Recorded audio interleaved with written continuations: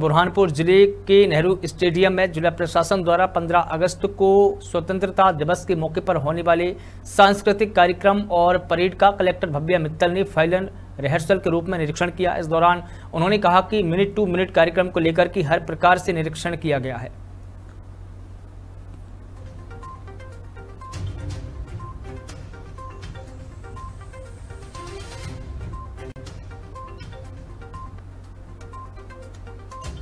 पंद्रह अगस्त के कार्यक्रम के संबंध में आज पूरी तरीके से रिहर्सल ली जा रही है। मिनट टू मिनट पे अपने एक एक गतिविधि की है और हमारी परेड पूरी तरीके से तैयार है।